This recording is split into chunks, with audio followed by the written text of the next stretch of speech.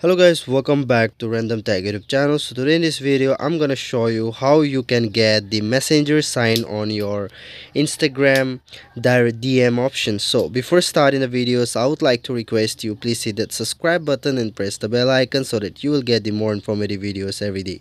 So guys here you can see here this is my uh, redmi 9 device. So i'm going to show you in this device. And if you're using ios then go to play uh sorry app store and if you're using android go to play store. So let me just go to play store here.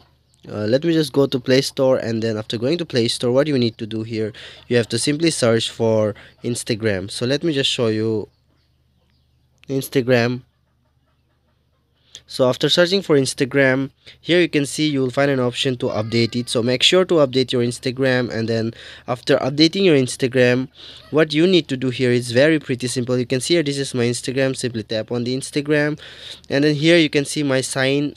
My sign is like an uh, aeroplane sign for dm so what you need to do to update this into a messenger uh, messenger uh, messenger symbol you have to simply click on this profile icon on the bottom right. Just tap here.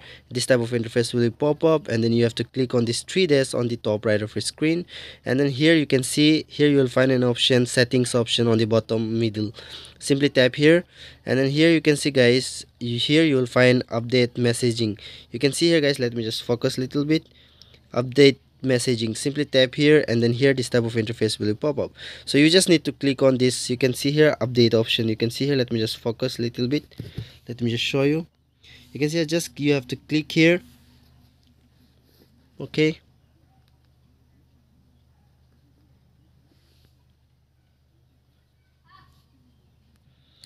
So guys here you have to simply click on this update option here. So let me just click this.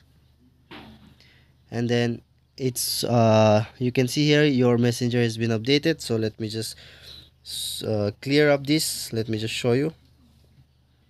And then go to messenger. And guys you can see here my messenger uh, my dm sign has been changed to messenger. You can see here this is very pretty simple. I hope this video will be absolutely helpful for you. If you like the video please don't forget to hit the subscribe button. Thanks for watching